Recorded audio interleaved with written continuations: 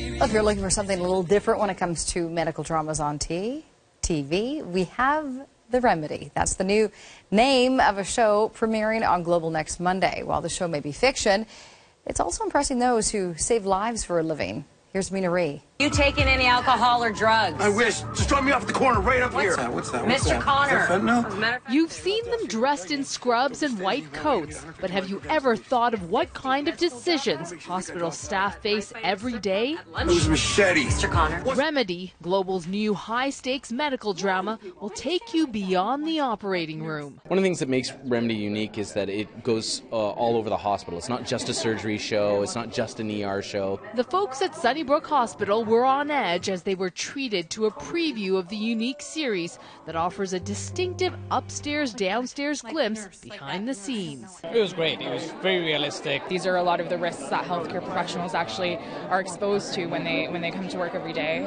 Enrico Colantoni stars as the chief of staff, but also father to a physician, nurse, and porter who also work at the downtown facility. Management of healthcare is probably the most difficult thing. I probably have more respect for a doctor who's got to deal with the BS. The parent child dynamic hit home for June and Christopher Gale, who work in tandem as nurse and porter at Sunnybrook. Have you ever been pricked with a syringe? Yes. Remedy's plots are largely based on fact, and horror sets in when a personal support worker gets pricked with an HIV infected needle. It actually happened a lot here. Don't be surprised if you notice familiar backdrops. The series was shot in Toronto and a hospital out in Hamilton. Time to put Dr. Conner on the hot seat. What should you do in really serious cases of C. difficile?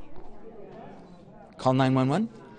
Come on. A uh, fecal transplant. There you go. It's not very sexy. Things can happen, but. That was in the show. Yeah. I knew the answer. Remedy is not a documentary, but its twists and turns are based on stories from real healthcare professionals who can't share what they really encounter at work. The series premieres on Global next Monday at 9 p.m. Mina Ree, Global News.